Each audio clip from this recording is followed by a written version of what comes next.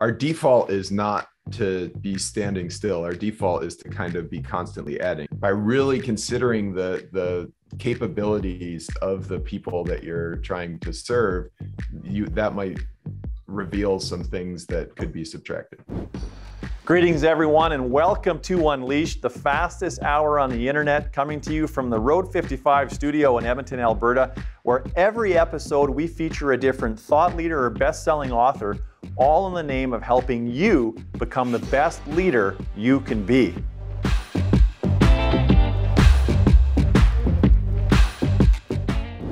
Lives are getting busier as the demands for our time and attention continue to rise and it's making it harder and harder to make time for the things we value most. Today, we're talking about the science of subtraction, a non-obvious way to improve the quality of our lives. Leidy Klotz will share simple strategies for using subtraction to avoid stress and burnout and experience more joy and fulfillment. We'll also explore how subtraction can help your teams and companies. Now, my very special guest today is Leidy Klotz. Leidy is a professor of engineering, systems, and environment at the University of Virginia and is nationally recognized as one of the top 40 under 40 professors in the United States. His online courses have reached tens of thousands of listeners around the world. Klotz also advises influential decision makers that straddle academia and practice, working with the Departments of Energy and Homeland Security, the National Institutes of Health, and the World Bank. At the University of Virginia, he co-founded the Convergent Behavioral Science Initiative, which brings together scholars from the schools of engineering, architecture, policy, education, and business, as well as the College of Arts and Sciences, in order to engage and support dozens of faculty and students doing applied interdisciplinary research. Klotz has written for venues such as the Washington Post, Fast Company, HBR, The Daily Climate, Inside Higher Ed, and The Behavioral Scientist.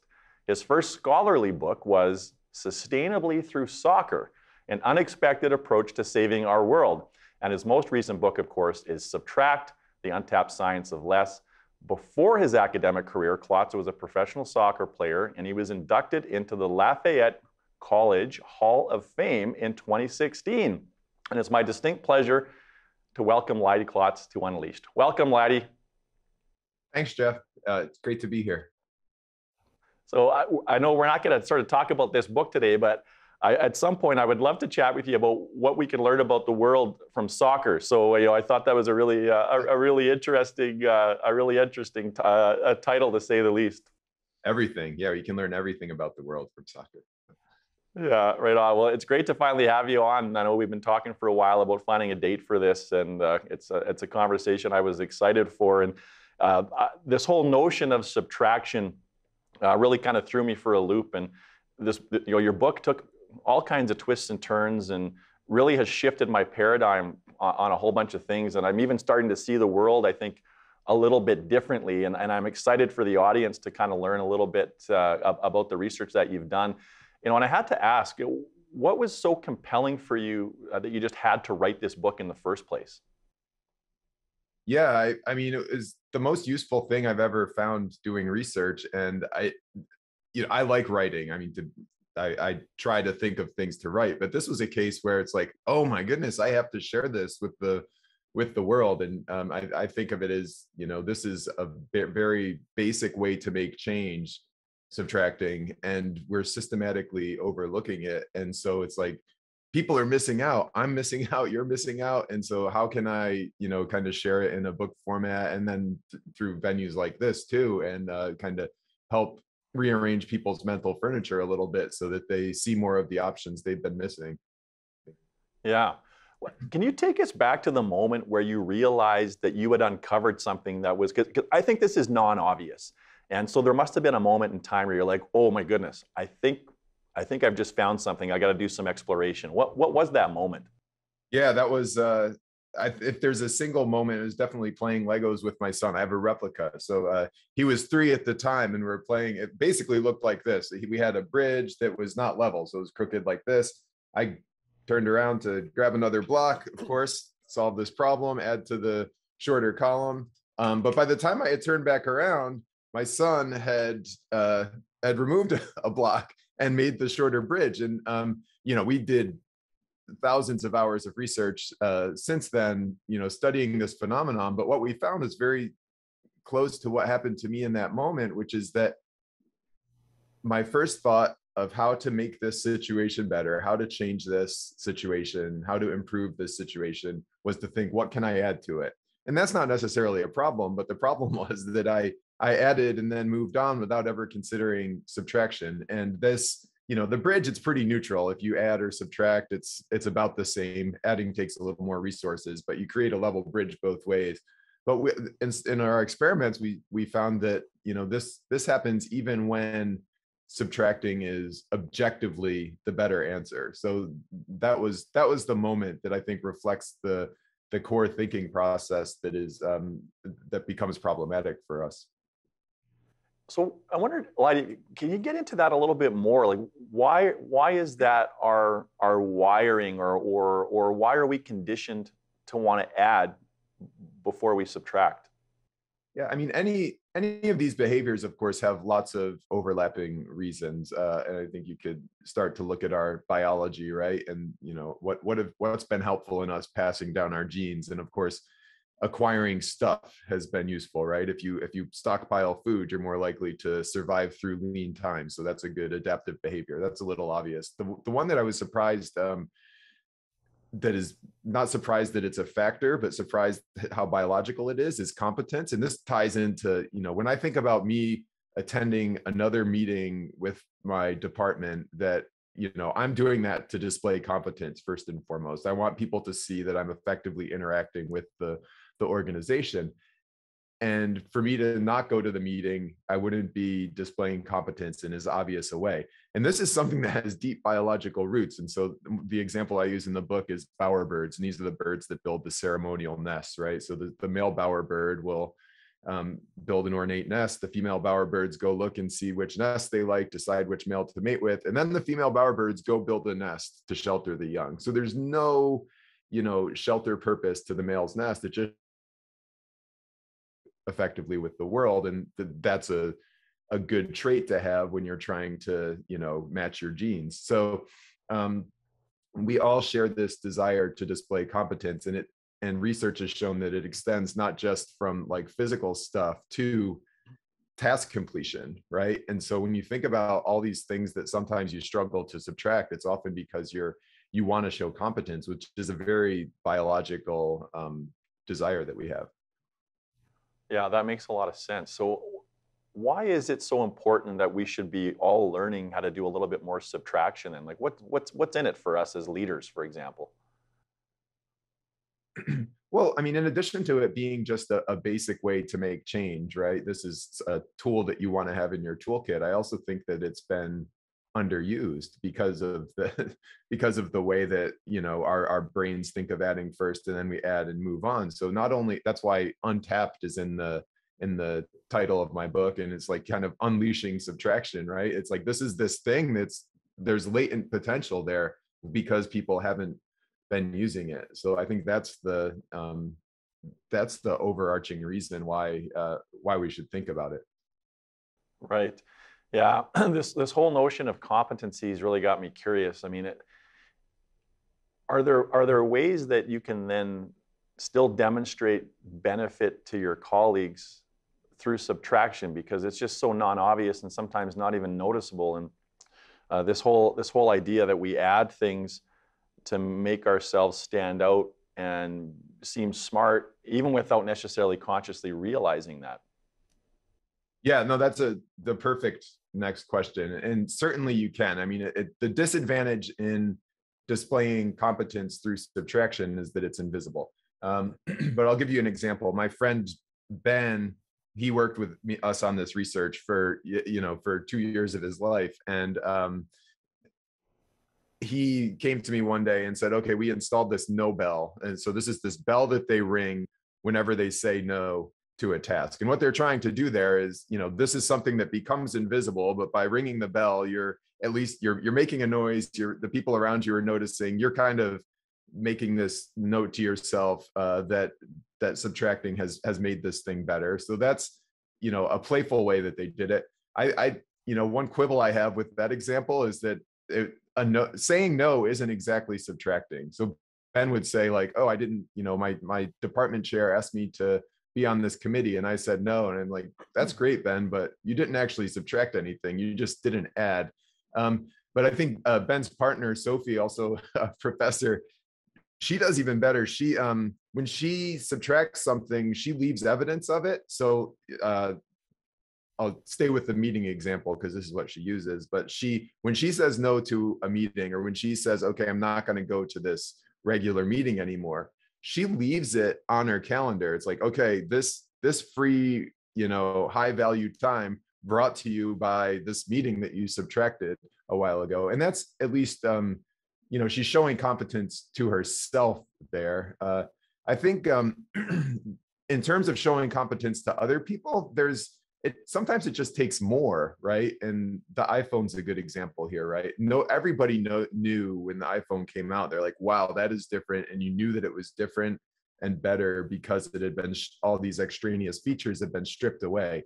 But i i would contend that in that case and in many other cases if you just subtracted one thing nobody would have noticed. But if you subtract a whole bunch of stuff people notice. And you all i think we all like kind of know this person, right? There's the the the person who is uh, you know their schedule is always like really flexible. They don't seem to have a lot a lot of you know um, they seem to really prioritize their creativity and their their free time and their thinking time and everybody's just like oh wow that person really has it together right and it's because they've subtracted a lot enough to to actually make it visible so that you can see the competence yeah well and you use the meeting example most of us can probably relate to those moments where a meeting gets canceled last minute and there's usually a sigh of relief that you've got some found time.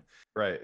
One of my one of my concerns with reducing meeting time though is that one of the philosophies of effective meetings is that a, a good meeting should save you time. When you add up all of the informal conversations that you have about mm-hmm. topics and sidebar conversations as opposed to getting all the key decision makers in one room at the same time. So have, have you seen anything work or do you have any sort of guidance or advice, Leidy, for how to subtract in the right way so that subtraction actually doesn't become additive again? Right. yeah, that's funny. Um, just sounds even um, weird. Like that just even sounds weird to say it. Like am I? I'm, I'm no, I mean we talked about this. oh, it's what's so fun about like complement combining the experiments with the thinking about the real world. And in the experiments, we're like, oh, are people just do we count it if they subtract in service of adding? Because that's that's one form of subtraction right? It's like you take something away because it means that you can add a million things somewhere else. So so it's a, it's a fair question. I mean bob sutton who's coming on in two weeks and i have been talking about this because he he's you know super interested in organizations and, and friction. And uh I mean, certainly there need it's add and subtract, right? It's not that subtracting is always the right answer. It's just that we we tend to not consider it, and hopefully we'll consider it more. But uh, he we were talking about it with meetings, and he was like, "What if people just thought of it in terms of having everything?" So cut the frequency in half. So go from two weeks or weekly meetings to bi-weekly meetings. Cut the number of attendees in half. Cut the time in half and see what happens right? It's not that you have to permanently do that but if if all of a sudden you're still getting that same benefit of like the time saving benefit from the meetings and now the meetings are taking half as much time half as much personnel half as much uh half half the frequency then um then you gain something. So i think that's another you don't it doesn't have to be a permanent thing. You can also just try it out and and, and see what happens but yeah i totally yeah. agree. I mean there's huge value in meetings and one especially during the pandemic i mean our um, department chair was really great about you know kind of making people keep coming to meetings and in a nice way but it was like there's that you know i don't mean to say that all meetings are bad certainly. There was a huge benefit to the morale of our little organizational unit because people stayed connected during that time. Yeah i, I know we're it's it, the meetings are uh, an easy example to draw on because we can all relate to that. And as we talk more about it, I'd have to wonder too if there's a relationship somehow somehow between subtraction and discipline and commitment. Because I know one of the concerns is if if you were to cut your meetings in half in terms of frequency and went from weekly to biweekly, meeting a, missing a meeting under that under that uh, uh, context would mean that you're having maybe gaps of a month between getting together. But I wonder if it actually galvanizes commitment so that you would never really miss a meeting, as opposed to if the frequency is higher, you think, well, if I miss this one this week, it's not that big of a deal. So, you know, you do have me curious if there is a relationship there, and I wonder if you've ever thought about that, or if you've sort of experienced anything similar. Yeah, I mean, I think that's just you know the the more scarce something is, the more kind of value you place on it, right? Um, and so if this is the only opportunity to have these interactions in the case of a meeting, then you could you could see that being the case where people actually put more priority, maybe prepare even more for the meetings. Um, so so yeah, I could I could see that happening. Again, this is not like a always this is going to be the case, but you could certainly see that that being the case very often. I think that, you know, thinking about my organization, I think that would certainly be the case. And I thought you were going to go with discipline to like, oh, are people still going to come? But I, I, it's, I think you're exactly right that the, the, the problem we have is not motivating people and making sure that they're actually doing work. It's it's it's helping them kind of be most effective in in the work that they do. Um, and so that uh, that kind of um, that kind of approach could be really helpful for for these highly motivated people that I think is pretty much everyone we're talking to today. Yeah, Lydia, I wonder if you had some examples that that you have seen because I mean you you study teams and organizations and and you know not not just corporately but but all in all kinds of um, in all kinds of disciplines and I wonder if there are some really significant gains that you have seen from organizations that have very intentionally started to apply a subtraction mindset. Yeah. I, I don't want to steal Bob's thunder, but you should ask him about the AstraZeneca case study. So what they did, um, they're a pharmaceutical company, and we love the case study because you know their core thing is research, and uh, and they they challenged their employees, uh, sixty thousand employees, I think, to free up time for research, and they they calculated they've saved about two million hours. Um, from from the things that the, their employees came up with and it's you know everything from small things to um, kind of you can't send an email over 250 words to to bigger things like the the cutting of of meetings and, and things like that. So that's one example. Um, another one uh, consulting company that i worked with thought about you know kind of making rules right? Um, so one of the reasons we don't subtract is because we don't think of it um, we also there's this competence right? We want to display competence but if you make it a rule that you have to subtract then people can display competence by subtracting and so um, something as simple as like okay if you're going to bring a new policy that we should use also come with two that are already on the books that you think we don't need anymore right? And this kind of helps you keep your system in balance and this um, from my one of the stories I heard is that I haven't verified this, but that British Columbia did this with their legislation, where they said like a legislator, if they came with a new law, had to come with two that were on the books that they would want to get rid of. And you know, the growth of laws is faster than the growth of anything um, over the last 70 years. And so, but this that a rule like that would kind of keep um, keep subtraction top of mind also allow you to display competence by subtracting and i think can uh, it works at the organizational level as well as at the kind of provincial level.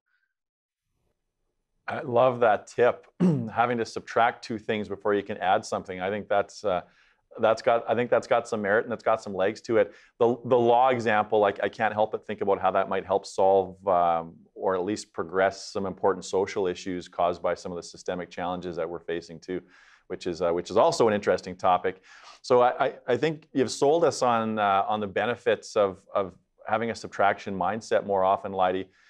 what are some ways that a person can actually start to maybe apply some of this thinking in addition to some of the examples that you've already shared? Yeah, I think that the um uh, so the one of the problems is that we don't think of it right? And so it's like okay watch this episode and you'll think of it more and listen to the audiobook or read the book and you'll hopefully rearrange your mental furniture and think of it more. But also you're thinking about it right now right? So how can you build this into your processes um, so an example here, I'll use a personal one. I, every, I do a to-do list, not as often as I should, but you know, weekly or monthly, I'll sit down and be like, okay, here's here are my priorities. Here's what I'm going to do, and I inevitably think of new things that I want to do. and now I've forced myself to also consider stop doings at the same time. And you know, it's hard. It's hard to come up with. Uh, th- I find myself kind of reframing to dos as stop doings, right? So it's like I want to improve my posture. I'm gonna. So I frame that as like stop slouching. Um, but it does. Thinking of it does force me to think of things that I can do to relieve my schedule. And so that's an example of putting in place like a process reminder that makes it so you can't go past this step without considering this option and that's the you know that addresses the core problem and you could think about that in terms of a stop doing also in terms of stop thinkings i mean i think that it's so amazing to be able to get this um, information in the form of podcasts and like there's a podcast for everything uh, but do we actually spend the time to uh, you know kind of on a, a weekly or yeah ideally on a weekly basis think about the things that we think, right? It's like, okay, here's my mental model. Are there things that I no longer believe are true? Are there things that I, you know, no longer think are as important for me? Um, and so again, like that, you're you're building that into the process rather than relying on yourself to think of it in the moment. Um, and I, the last, I, I we like to think of this along the lines of like social stuff, like meetings, um, thinking, you know, the mental stuff, and then also the uh, physical things and i think for for physical things you can also make rules right if i in my house if we every time a new amazon box comes in if you have to like get rid of something of the equal size that kind of keeps your keeps your system in balance. It's hard with kids but it's um it's it's an example yeah. of building it into the process. Yeah i can appreciate that. You, know, you talk a little bit in your book as well that the the reality of subtracting is it often takes more time to do it. So you've, you, you've built something, and if you're going to go that next step to find a way to refine it and subtract things from it, that is going to add time to your schedule in a lot of cases, not, not remove it. And so, it, how do you how do you sort of determine what activities are worth spending the extra time to find ways to subtract from uh, versus the others that may not be as, as beneficial to invest that time? Oh, that's a beautiful question. Um, yeah first i mean i think we've got to get past that it's easy to have this misconception that you know less is less work because it, it's more thinking and it's more process steps right? To subtract something from your organization to subtract meetings you have to have added meetings in the first place. Um, and there is another form of less which is just not doing anything which is appropriate sometimes but what we're talking about is the less like kind of on the other side of more. And then the, that second half of the question, how do you decide where to keep going? I think it's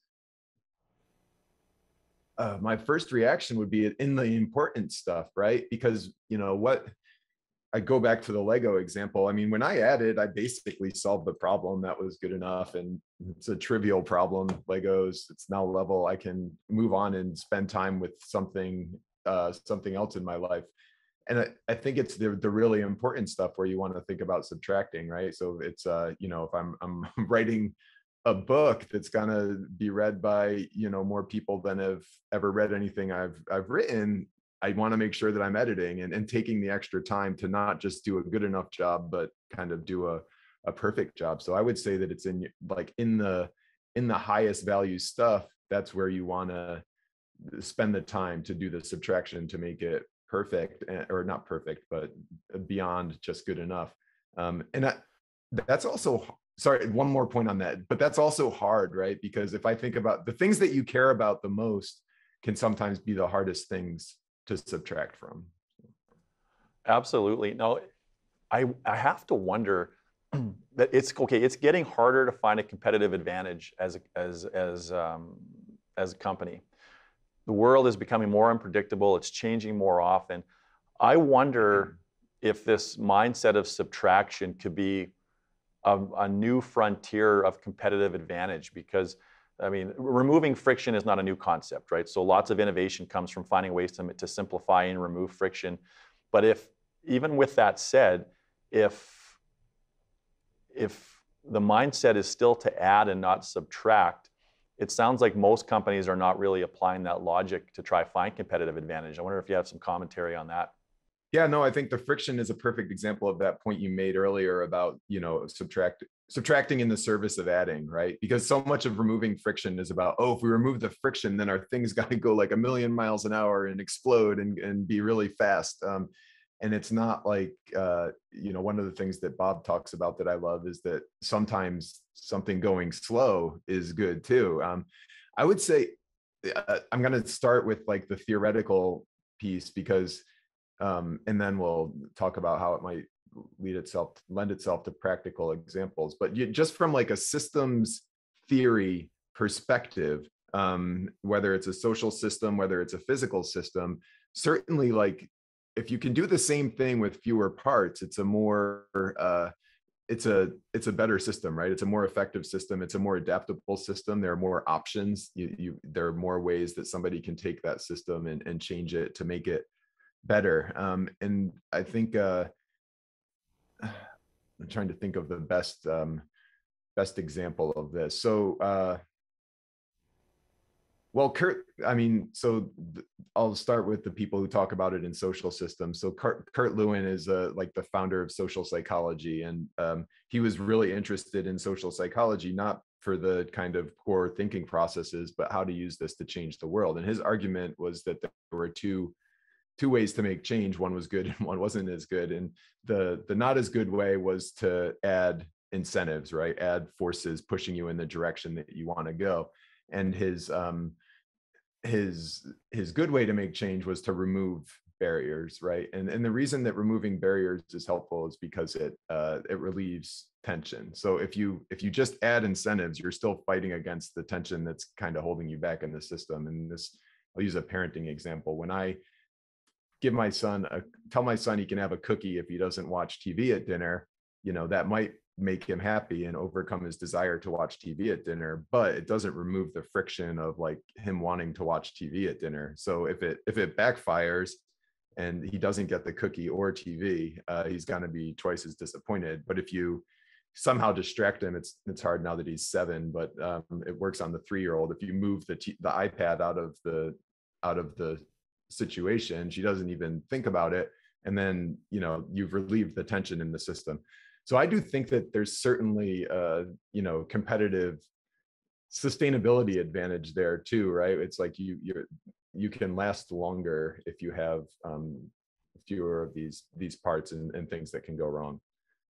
Yeah, that it reminds yeah. me of some of the stuff yeah. that James Clear has done on uh, author of Atomic Habits on just how important the environment yeah. is for being able to stick with something that is important and removing non-essential things. I mean, I think a social media as an example uh, removing those apps off your phone is a pretty effective strategy to reduce social media time as as a, opposed to as you're suggesting try to give yourself an incentive or some kind of a reward. So that's that's fascinating. You know Leidy, the, the other thing that I, I think is really becoming clear is the impact of subtraction when it comes to communication and there's when i like on twitter yeah. as an example one of the one of the themes that has emerged i would say in the last six to 12 months is people are um, quickly gaining mass audience and attention for writing simple threads, really complex, uh, um, really complex ideas and distilling them down into the essence. And to do a really good job of writing one of these Twitter threads, you've got to write quite a bit and then you've got to remove a whole bunch of filler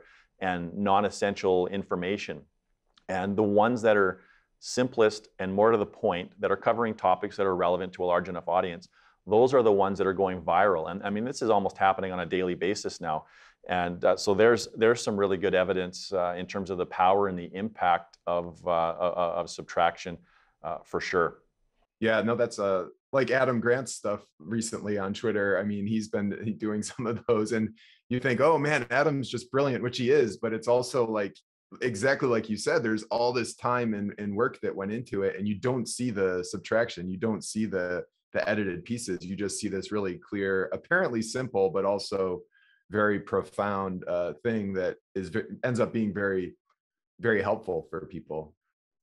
Yeah, absolutely. And and what's in it for me is such an important question. And uh, so, what's in it for the audience, I think, as leaders, if we can if we can get better, even just with communication, as an example, whether it's verbal, written, uh, how it how it shows up in our presentations, applying some uh, some of these laws of, uh, of subtraction, will only help you make your point and increase your influence and get the outcomes that you're that, that you're uh, aspiring to. So I think that's really fascinating. Uh, uh, I'd like to talk about loss aversion a little bit, and yeah, just uh, just to, you know really quickly for the audience, the you know the the the, the science around loss aversion is that human beings are more motivated to keep what we have versus earn something in, a, in addition. And, and Elodie, if I've butchered that, please correct me. But uh, what I was more interested in, though, is how much does loss aversion interfere with subtracting, and how can we perhaps become a little bit better at not being so tied to the effects of, of it? Yeah. I mean, so loss aversion is that we don't like losing things. And, and it's not just that we don't like it, but it's we don't like it more than we like gaining something the same value. Um, now, the reason, the most straightforward way to steer around that with subtraction is uh, all of our examples with subtracting have not been losses, right? They've been, we're trying to make the situation better. By definition, we're subtracting to improve something. So the end situation is not a loss, but it does require some subtracting in there.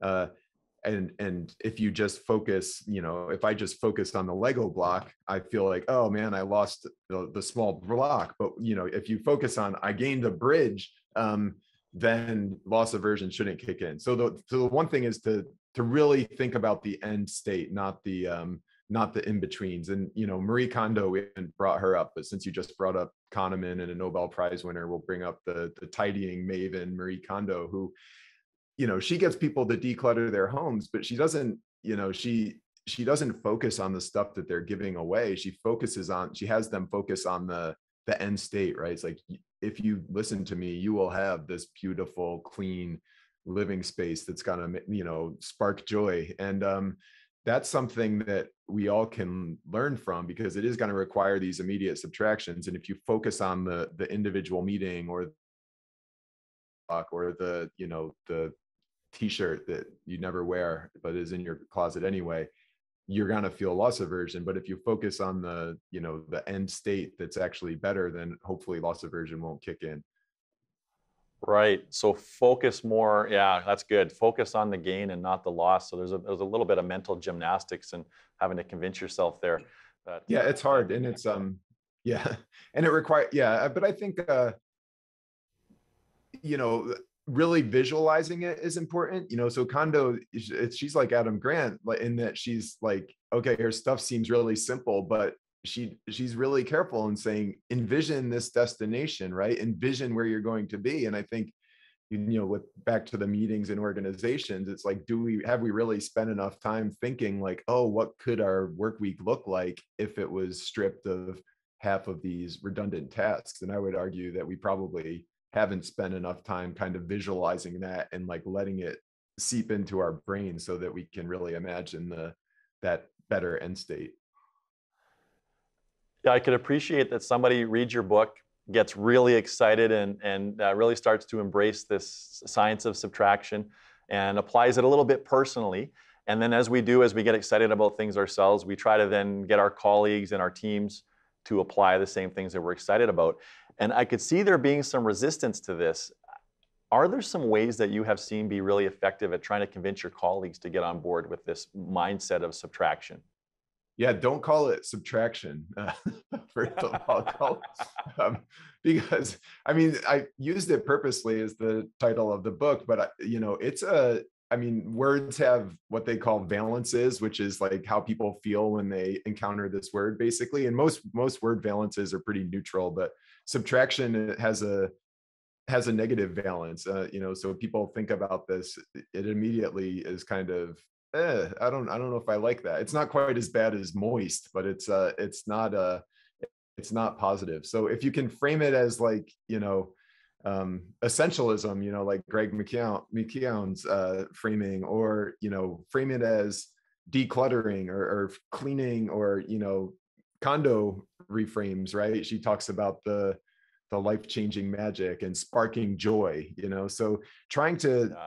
trying to frame it uh, in terms of again what you're gaining, but also using like more positive positive words for it and eventually you know we'll we'll uh, start this subtract or continue this subtracting movement and, and totally change the valence around the word but until then you know maybe try some different language yeah yeah what about customers like we I, we probably a lot of us had this experience experience where uh, this the price of the hamburger is the same but it's smaller or you know yeah. who wants to pay yeah. the same price for a 90 page book uh, uh, as they pay for a 200 page book how do right. we how do we get consumers to see the advantages of subtraction? Yeah, I got asked this. I was talking in Switzerland last week and got asked this question, and I was uh, like, "Oh man, I wish I had thought of this answer on the spot." But it's like we're good at getting selling value right i mean we can sell a lot of things um you know uh, even things that are bad for people right it's like you're able to sell cigarettes you're able to sell alcohol you're able to sell food that makes people unhealthy um so i think part of it is like okay just really tapping back into what that value proposition is for the human and then um and then you can figure out ways to sell it um and i uh, but I, I mean, I fully acknowledge that you're, you you are battling this mindset. It's like, why would I pay? Um, an example I use in the book is my house. Uh, it's like, why would I pay more for a 1500 square foot house than for a 2500 square foot house? Um, so I don't but again i think tying it back i saw in the comments even like this notion of lean and customer value right? It's like tying it back into what that customer value is really honing in on what that is and then let the marketing geniuses take off with that because there there is a value to this kind of thing um, yeah. Yeah it, you make some references to flow as well and uh, yeah. we all we, we should also be so lucky as to be able to spend a considerable amount of time in flow just in that state of euphoria. We're working on meaningful projects, and time just seems to uh, to evaporate, and, and we're really in our zone of genius. What does subtraction have to do with flow?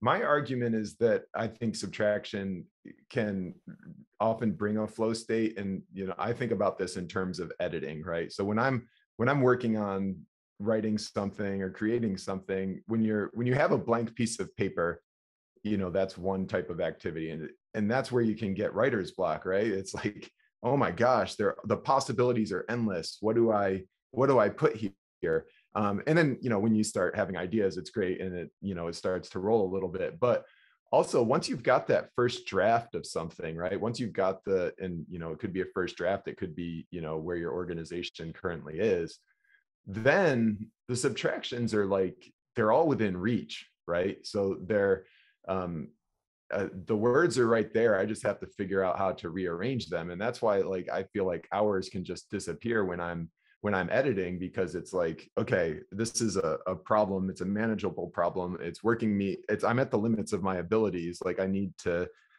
think and and figure out how this sentence is going to come across the the best way. Um, but it's not like uh, it, it's not I don't I don't have to worry about writer's block anymore. So that's where I think that it can put you in this experience of flow. And you know, even just going back to the very basic level of it's more thinking, it's more work. I mean, we're we're all people who enjoy that, right? You get you derive value and it's you know, the, we all do the work we do I think because we we like it and we see value in it. So um, to the extent that subtraction takes more work, but it's like work towards the the things that we really care about um, that kind of keeps us in that zone of flow or like optimal experience um, as well. Yeah. And if if it's true that there's at least a strong correlation between subtraction and flow, then uh, we have to subtract to make a bigger impact on the world. And I think that's a pretty compelling reason to start to uh, pay attention for opportunities to, uh, for subtraction, uh, w- without a doubt.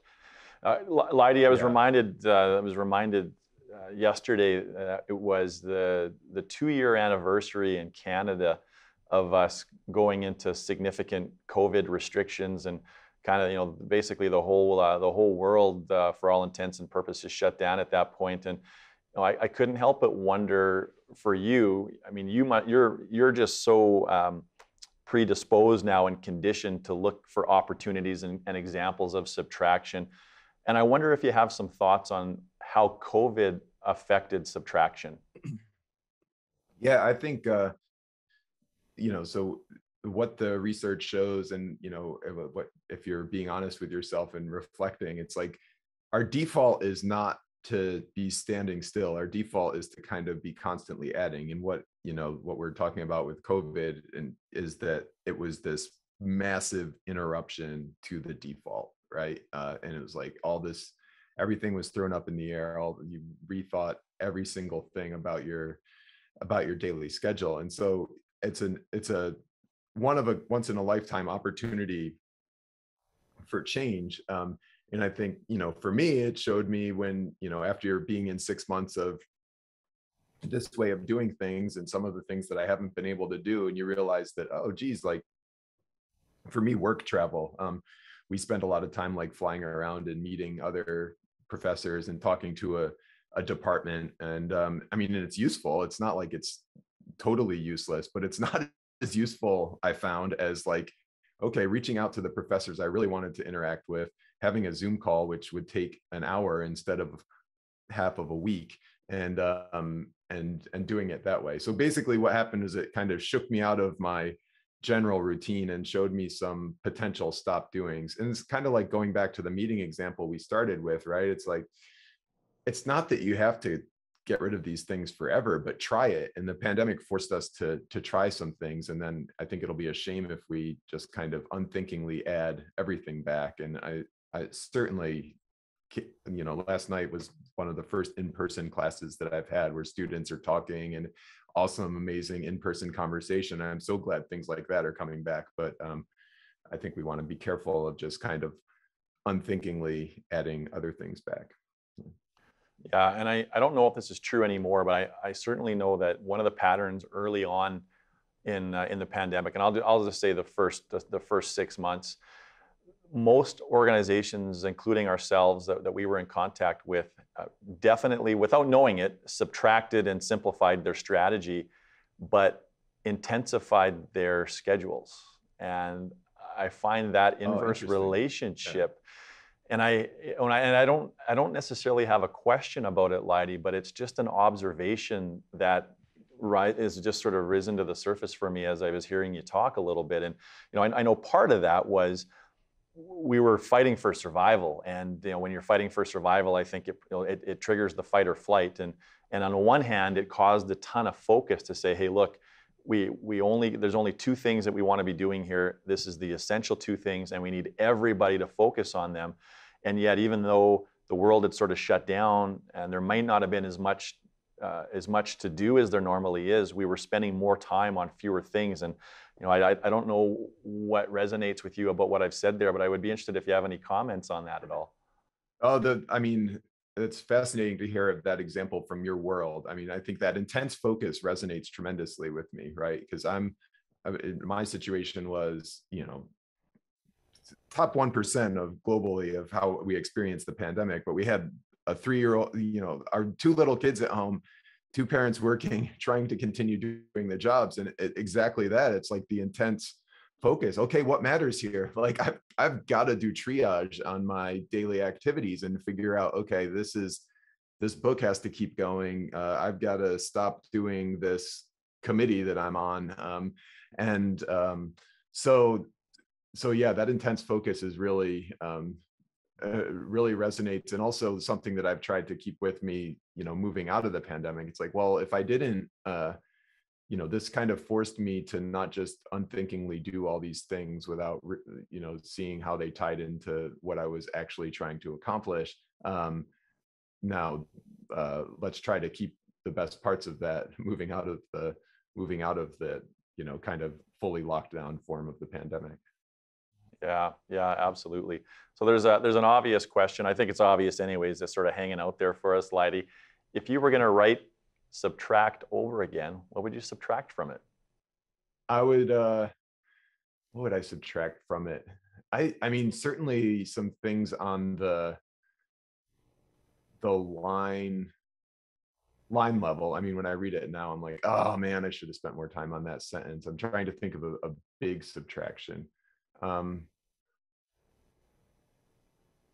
I might subtract parts of the chapter three, the culture chapter. Um, I think it, uh, yeah, I think that, um, you know, so we talk about these reasons why, uh, why we don't subtract. And, you know, so I delved into the biological reasons and then delved into the, the cultural reasons. And I mean, the cultural reasons there, uh, there, there isn't really a, a clear cut, okay, this, this culture is better than this other culture at subtracting. Um, and I think that's an important point to get across, but maybe could have done it more quickly. And I think it would have, to this point about communicating the the important things in that cultural section are that the damaging the most damaging thing i think in terms of subtracting is thinking of it in a binary way right? Thinking of add or subtract right? And this is something we do. We position concepts in opposition to each other because then if one is true then the other must be false and then that helps with our reasoning. But it doesn't work when the concepts aren't actually in opposition to each other right? It's like these are complementary ways to make change. And so if we could just shift from thinking add or subtract to add and subtract then when i think of adding a block i might think oh well maybe subtracting could work here. Anyway so i think that point got buried in the kind of as i uh, played into a little bit of this um, okay which culture is better than others? And there's not you know there's no evidence that any culture is better than the others. This is something that we we all kind of do. So i guess that would be an area i would subtract. I'd also um yeah I'll, I'll stop there. I was going to say some things to add, but that wasn't your question. and that shows my. I've, yeah, it's, it's interesting that you're going you're going to the addition part. Uh, that's that's fascinating, uh, with without a doubt. I wondered if you would share something with us too, a, a recent example of uh, a really impactful thing that you subtracted from your personal life. The I was talking to a, a friend who does, uh, who's like kind of a, a parenting work-life balance expert, and she helped me realize in a very like thoughtful way, uh, and like very tactfully that some of my parenting is just like I was doing this in my parenting, right? Basically, like, okay, my two-year-old needs this, this, this, and this, and then he comes a three-year-old and he needs new things and new things. But I was never subtracting the old things that he no longer needed, right? So it's like once my seven year old can like kick a soccer ball 20 miles an hour, I probably don't need to be helping him put his shoes on in the morning. I think he can do that himself. And so it was like a classic example of um, something that I care a ton about. And you you tend to think, okay, this is something that you know by helping i'm being i'm helpful but actually you're kind of uh, overwhelming yourself but also making it so that they don't ha- have their uh, you know don't develop their independence as quickly. So i think the the parenting and you know being really conscious of this in my parenting uh, i was my two kids were playing with each other the other night and i was like getting ready to come in and read or something it's like no this is perfect. These they're like interacting with each other and having both having a great experience and just leave myself out of this situation and um and it will be better. So that's an area when I've been applying it. I also think it brings up a point we haven't touched on, if you let me, is that one of the oftentimes when we subtract something, it allows the humans to do something else, right? It, it, it allows the humans that we're trying to serve, whether they're our customers or our kids or students, um, to do more, which which they actually enjoy um, and so i think that that's something to keep in mind that just because you're you're asking more of your customer it doesn't mean that's bad it could be that could be like the thing that actually they want and and makes it a better experience for them. Yeah absolutely that's a really that's a really practical example and and i there's a lot of parallels with that personal parenting example about about tying the shoes or not because as managers we do that all the time and I, and I think yeah. it's worth taking note of where in our organizations are we tying our employees' shoes when we no longer have to. Uh, we had a we had a, a, a lead from the Heart uh, author Mark Crowley on Unleashed uh, back in season uh, back in season two, and he had this really awesome analogy that's always stuck with me, and it's that if you want to be a leader, you have to stop shooting free throws for your people. And I just thought that's really stuck with me because I think about all the times now where I step in and I'm like, hey, you know, step step aside. Let me. Sh- I'll shoot this shot for you, and that's not my role. It's my role to teach them how to shoot effective three throws, not shoot them for them. So that tie tying the shoe analogy uh, reminds me of that a lot, uh, a lot, Leidy. Yeah, I think, um, and when you realize that people can do that, it leads to some of the most effective innovations. And you know, one of my favorite subtractive examples is the balance bike, right? So these are the bikes that subtracted the the pedals, and uh, you know, all this innovation that happened over the years in bikes, and it's only relatively recently that somebody thought, oh, if we subtract the pedals, then a little kid can propel it like a Flintstone car. But oh, it turns out also that little two-year-olds can balance on this thing and, and make that work. And so by by really considering the the capabilities of the people that you're trying to serve, you that might reveal some things that could be subtracted. Yeah, uh, Leidy, I've got a two-part question for you here. In in your writing, it becomes it becomes really clear really quickly that uh, you're as interested or more in trying to help the world solve some of its most important social issues as you are science.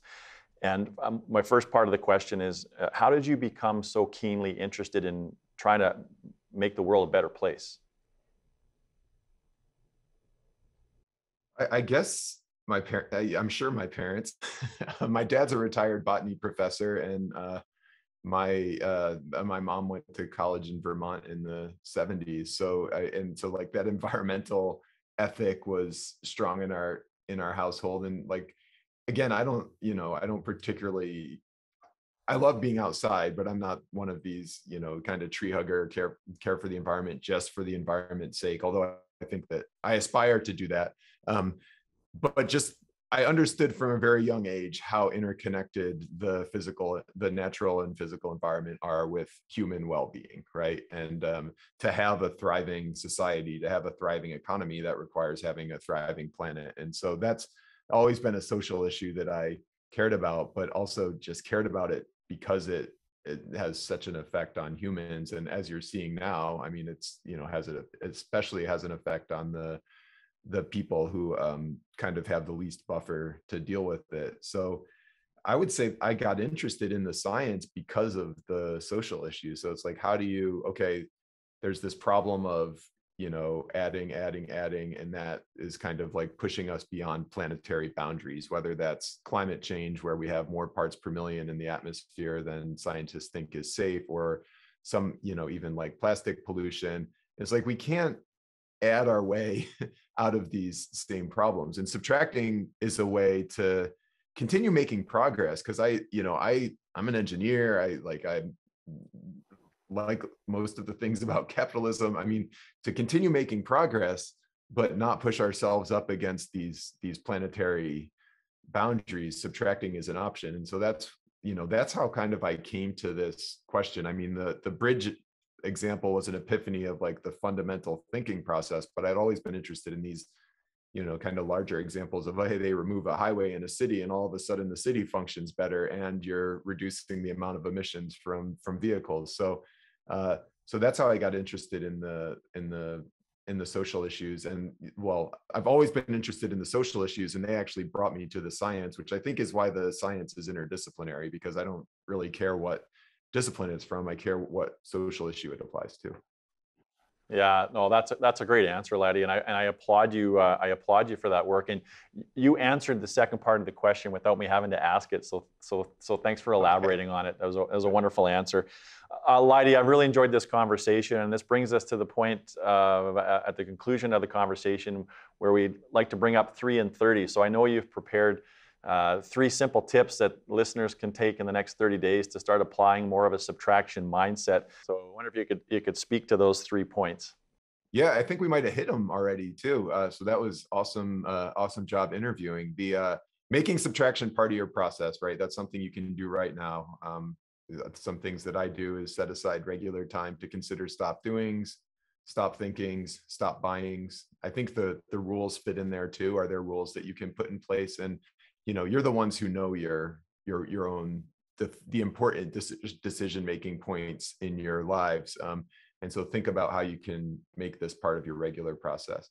Uh, have your meetings. We talked about that one and, and bob might have more on that one in two weeks but uh, you know try having the frequency the participants and the and the time and see what happens. You can always add it back um, after 30 days if it's not working. And then share your subtractions right? So this again we talked about that noticeability problem where if you subtract something it's not obvious uh, So when you subtract a meeting, make sure that you you explain to people why you subtracted a meeting and remind people might remind people when when they have that free time that you subtracted the meeting from that hey like this time is because we aren't having that meeting. Um, and then the last one is uh, yeah and and remind your future self like sophie with putting this reminder on our calendar of this time brought to you by the subtraction. Didn't quite get it in 30 seconds but there they are no, love that. And you don't have to do it in 30 seconds, but uh, that's awesome. Oh, 30 days, really three and 30 days. Yeah, sorry. They get 30 days to do these. Yeah, not 30.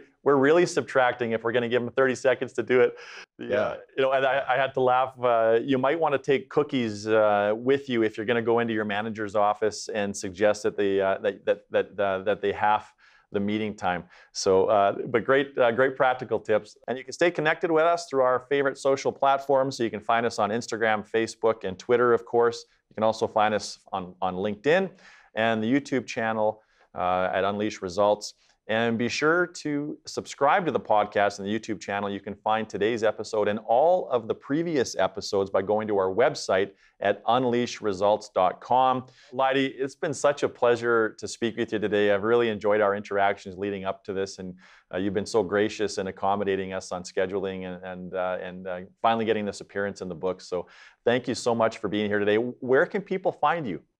Uh, the book is the best stuff, um, and I have a good Google name too. I, am on Twitter, but I'm not. Uh, I'm not spending as much time writing profound stuff as Adam Grant. So uh, those are those are the main places, and you can get the book anywhere, anywhere books are sold.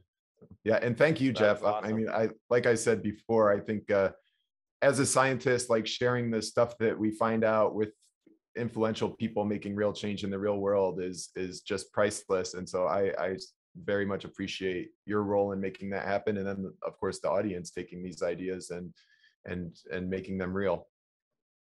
Uh, absolutely our pleasure uh, uh, very much. Thanks uh, thanks so much Leidy. thanks for tuning in. Now if you found today's conversation helpful don't forget to share it with your friends and colleagues who like learning as much as you do. And if you're a leader of a business and you're ready to take the next step because you know there's unleashed potential that exists within it don't wait another minute. Go to unleashresults.com and subscribe to our newsletter. We'll take care of the rest.